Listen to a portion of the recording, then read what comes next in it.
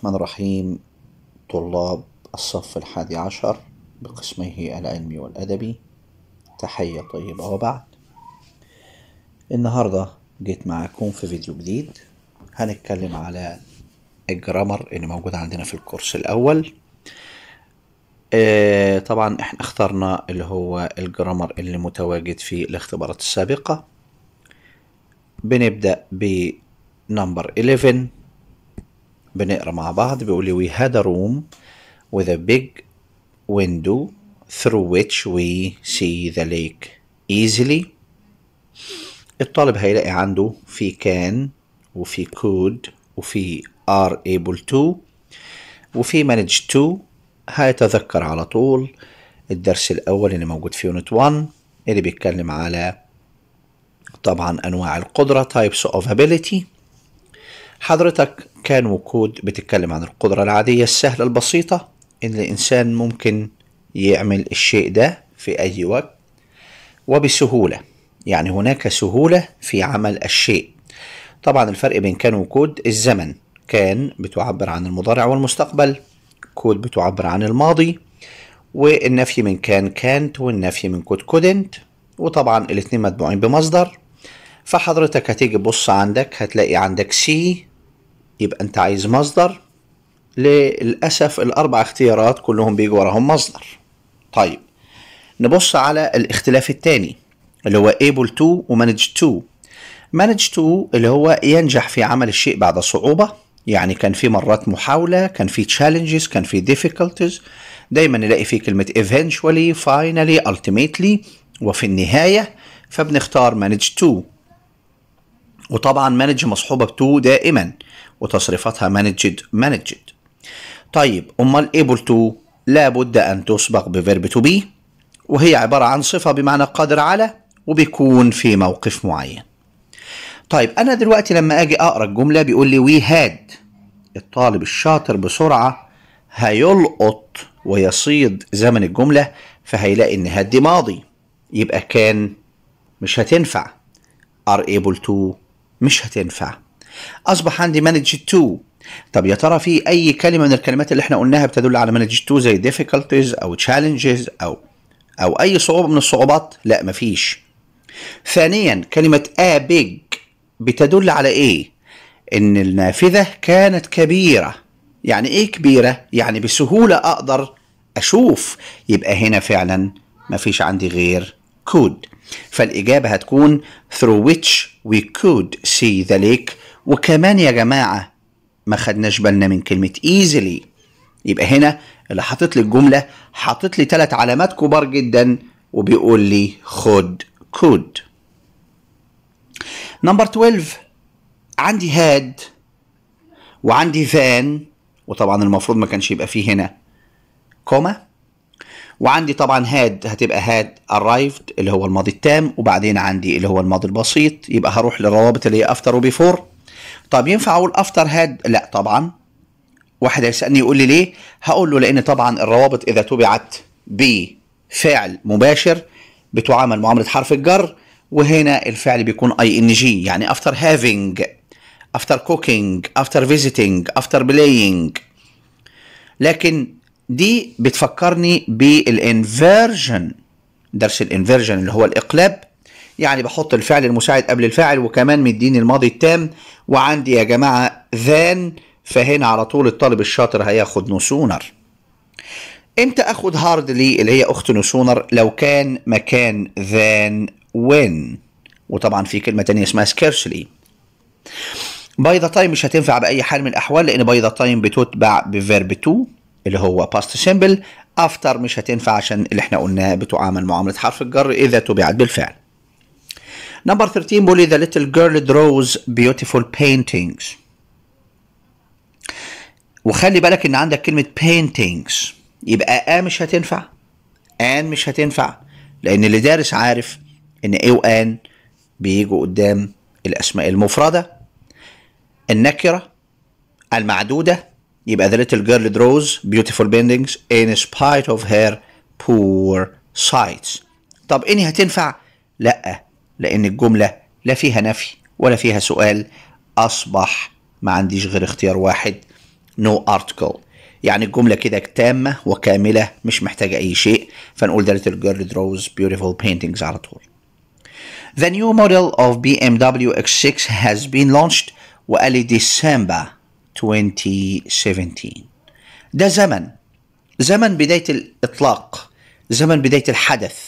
فإذا كان هناك زمن لبداية الحدث هناخد على طول since إمتى ناخد for قلناها قبل كده لما بيكون عندي أعداد لما بيكون عندي جمع لما بيكون عندي a short time a long time a couple of days. آه، أي شيء بيدل على العدد a fortnight أسبوعين.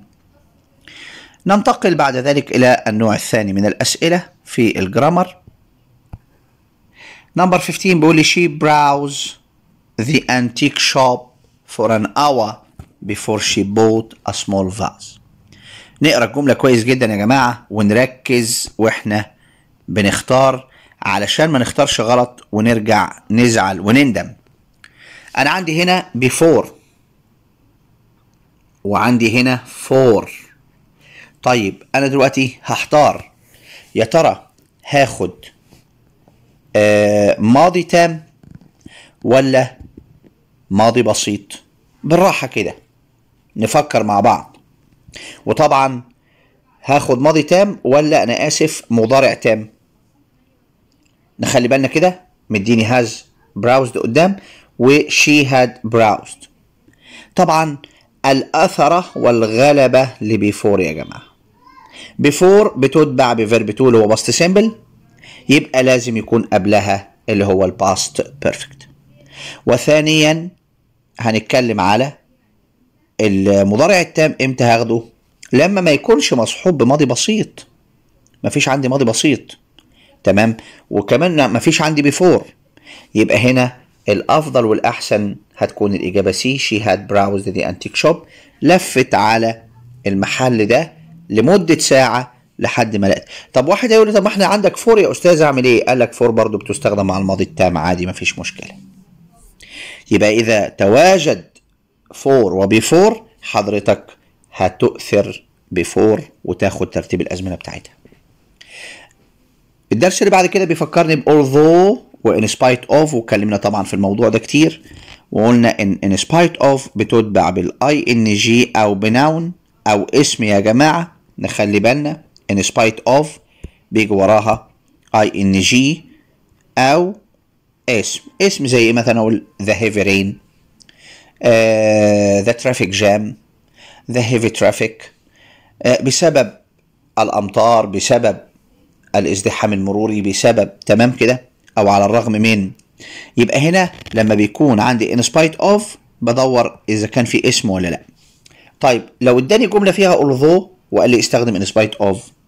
بنحذف although ونحذف الفاعل ونروح على الفعل نرجعه لأصله. فطبعا عندي was الأساس بتاعها be. وبزود عليه ing لأن زي ما إحنا قلنا دلوقتي ان in spite of تحب ال ing gerund فهنقول in spite of being tired. He drove 100 kilometers. تعالوا نشوف الكلام اللي موجود عندي. فهلاقي إن B هي الصحيحة. أهي. In spite of being tired he drove 100 kilometers to the next city. number 17 بيقول لي if I had received دي طبعا بتفكرني بالحالة الثالثة ال if ال third conditional يبقى هناخد would have traveled. Would have traveled. يبقى أنا عندي دلوقتي لما بيكون عندي ماضي تام had وتصريف ثالث باخد would have مع التصريف الثالث ننتقل إلى آخر نقطة في هذا الاختبار اللي هو mobile phones are not allowed in schools. Cameras are not allowed too. وبيقول لي استخدم neither nor طبعا إحنا يا جماعة لما بيكون الفاعل عندي مختلف mobile phones cameras بنبدأ ب neither nor يعني هقول neither قدام mobile phones وبعدين هقول nor cameras تمام؟ وبعدين أشوف المكرر في الجملة الأولى هشيله يعني are مكررة not مكررة allowed in schools. يبقى هنقول neither mobile phones nor cameras are لأن لازم أشيل النفي لأن neither nor بتأتي مكان النفي يبقى are allowed. لا ولا are allowed in schools. فهناخد مين؟ neither mobile phones nor cameras are allowed. تمام أهو. طب هو ما خدش is ليه؟ طبعا انت عندك هنا قاعدة بتقول أن الفعل يتبع آخر فاعل عنده. يعني لو كان قال neither mobile phones nor camera كنا هنقول is. لكن طبعا is هنا هتبقى خطأ. ننتقل إلى الاختبار اللي بعده يا جماعة. نمبر 11 بيقول لي we spend another moment in that cafe. It was noisy. يبقى برضو نتذكر إن الزمن بيلعب دور. فكانت مش هتنفع. Won't be able to مش هتنفع. Didn't manage مش هتنفع عشان ما عنديش to يبقى هناخد couldn't على طول. والإجابة سهلة جدا وبالراحة مع شوية تركيز هتلاقيني بختار الإجابة الصحيحة. يبقى أحدد الزمن الأول وبعدين أشوف الإيه الاختيار الصحيح. number 12 بيقول لي my elder brother has been studying in the USA واداني برضو زمن بداية الحدث. اللي هو 2015 فهناخد مع بعض since زي ما إحنا قلنا. yet مش هتنفع واجو مش هتنفع عشان بيجوا في نهاية الجملة. أجو تأتي مع الماضي البسيط yet يأتي طبعا أو تأتي مع المضارع التام المنفي hasn't أو haven't number 13 the fire alarm. لما أشوف كلمة alarm أو bell بتفكرني ب go off اللي هو يدق أو يطلق صوت فهتبقى went off. طبعا دي تعتبر من مع الحفظ في اللي هو ال phrasal verbs طبعا went out انطفأ went up ارتفع went through عبر أو مر من خلال. number 14 you wouldn't have been. نخلي بالنا كده wouldn't have been وعندي مين في النص. If طبعا يبقى الطالب الشاطر هيقول لي I had gone. You didn't have been tired if you'd gone to bed early. ما كنتش هتتعب لو كنت نمت بدري. يبقى هو ما نمش بدري ويشعر بالتعب. ننتقل إلى النوع الثاني اللي هو ABC By the time the police arrived, the two suspects disappeared. الدرس ده جاي جاي يا جماعة اللي هو الروابط وترتيب الأزمنة. أنا عندي by the time ومديني كمان arrived ماضي بسيط يبقى ده لازم يكون ماضي تام يبقى هدور على had disappeared اللي هو آه هتبقى أعتقد طبعا كده الصح A. A هي الصحيحة. 16 although he doesn't speak English وقال لي استخدم in spite of قلنا الطريقة إن إحنا هنحذف although وهنحذف he. هنا كمان هنحذف doesn't. بس هنعمل إيه؟ هنحط not يا جماعة. لأن ال gerund نفيه ب not والمصدر نفيه بنوت. try not to try يبقى في to try وفي not to try. يبقى نفي to try not to نفي ال gerund speaking not speaking. فهنا هناخد speak ونحط عليها ing فهتبقى in spite of not speaking. Not speaking. نخلي بالنا من الكلام ده. يبقى الإجابة C هي الأصح. مفيش حاجة اسمها in spite of doesn't. مفيش حاجة اسمها in spite of doesn't. يبقى تاني. إحنا قلنا in spite of تتبع بال gerund ing طب إذا كانت الجملة منفية أعمل إيه؟ أحط not قبل ال gerund number 17 بيقول لي Mr أحمد is a teacher. Mr طلال is a teacher. وبقول استخدم both and. قلنا لما يكون الفاعل مختلف بنبدأ بالرابط الثنائي. فهنقول both Mr أحمد and Mr طلال are. ونشيل ال a ونحط s الجمع فهتبقى teachers of English. يبقى both Mr أحمد and Mr طلال is are. تمام؟ أيوه. طب إيه الفرق ما بين B و C أعتقد مفيش آه هنا حاطط a teacher. هي المفروض طبعا are teachers of English. Are teachers of English. ليه؟ آه هيبقى الاختيار عندي الصحيح. Are teachers of English. زي ما إحنا قلنا هتبقى B ننتقل بعد كده إلى number 18 I had hardly finished reading. عندي حط لي hardly في منتصف الجملة زي ما أنتم شايفين. وبيقول لي ابدأ بي لأن كلمة begin with ابدأ بي. ابدأ بهاردلي حاضر. ونعمل إقلاب فهتبقى هتمشي كده. تمام؟ هنمشي كده. يعني إزاي؟ هتبقى hardly had I. يبقى الطالب الشاطر على طول بدون ما نكمل هتلاقيه بياخد بي hardly had I finished reading the story when I fell asleep. ده اللي هو بالنسبة ل 18 ننتقل إلى الاختبار. اللي بعده هنا 11 بقول لي both my aunt and my uncle. طبعا الجدير بالذكر إن مع both and دايما الفعل بيكون في الجمع. have are. ليه؟ لأن الفاعل دائما بيكون جمع. يعني عندي my aunt وعندي my uncle. يبقى الفاعل جمع فعلى طول is working مش هتنفع works مش هتنفع. Work هتنفع انما working مش هتنفع فهناخد work for a big company in Australia وحضرتك مش محتاج طبعا تقعد تتعرف على الأزمنة لأن الجملة واضحة جدا should I خلي بال حضرتك popular opinion to do what I believe is right خلي بالك should I go off يدق go into يدخل go against تمام go out أنا لما أشوف كلمة opinion أو كلمة wishes آراء أفكار رغبات تمام؟ على طول أتذكر كلمة go against اللي هو يعارض.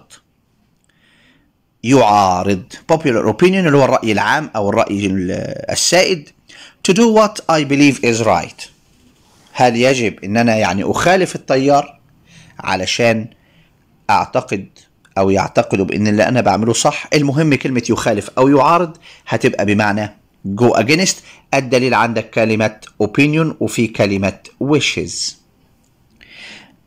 موناكو situated on واداني مكان مشهور ومكان معروف الساحل الفلاني أو المحيط الفلاني أو الجبل أو سلاسل الجبال الفلانية. يبقى دي كلها على طول من غير ما نفكر هناخد ذا لأنها أماكن معروفة ومشهورة وفريدة من نوعها.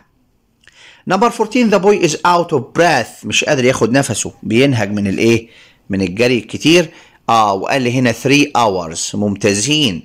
طبعا اجو مش هتنفع yet مش هتنفع since طبعا لأ فهناخد 4 عشان عدد 3 hours. number 15 بقول له I've been looking for a job for 5 months. وحضرتك لما يجي يقول لك for أو since ويكون سؤال على طول تذكر how long. How long فهتقول لي ما التلاتة how long لا في how many تحت اهي. طيب يبقى هناخد A أو B. يبقى هناخد have ولا do أنا عندي في السؤال في الجملة have. يبقى على طول how long have you been looking for a job ننتقل بعد ذلك إلى باقي الأسئلة. نمبر 16 بيقول لي if we had planned. نفس الكلام تاني أهو. الحالة التالتة الاف يا جماعة. يبقى هناخد مين؟ Would have أو wouldn't have. وخلي بالنا برضو للمرة الخمسين بقول إن إحنا ممكن يجيب لي الجملة منفية ومثبتة. يعني would have fallen ولا wouldn't have fallen وجت في بنك الأسئلة أعتقد فلازم حضرتك تترجم وتختار. جاسم doesn't play chess his brother also doesn't play chess. الفاعل مختلف وعايزني أستخدم neither فهنقول neither جاسم nor his brother. ها plays plays. الله ليه يا أستاذ؟ ما أنت عندك doesn't. هتشيل doesn't وتحط لي الاس فنقول neither جاسم nor his brother. ها آخر فاعل مفرد فعلى طول بدون شك ناخد إيه plays اللي هي آخر واحدة أهي. neither جاسم nor his brother plays chess. ولو كانت didn't كنا هنقول played نخلي بالنا. number 18 والأخيرة بيقول لي ابدأ ب no sooner. يبقى نفس الكلام اللي إحنا قلناه يا جماعة. أهو هنبدأ ب no sooner. هناخد اقلب. The train arrived at the station soon. The passengers rushed towards it. يبقى وصول القطار اولا وبعدين الركاب بدأوا يركبوا فنقول no sooner had the train arrived had the train arrived then the passengers rushed towards it آه طبعا هنا هتكون الإجابة الصحيحة هي الأولى أهي no sooner had the train arrived at the station then وبعد then بناخد طبعا إيه verb to وقبلها بناخد had والverb 3 أتمنى طبعا إن أنتوا تكونوا استمتعتوا معنا في فيديو النهارده وتراجعوا على الأسئلة وتشوفوا الشرح وأتمنى إن يكون الشغل ده مفيد بالنسبة لكم وأتمنى إن أنا أشوف تعليقاتكم على شغلنا النهارده وأشوفكم على خير في فيديو قادم. See you soon and goodbye.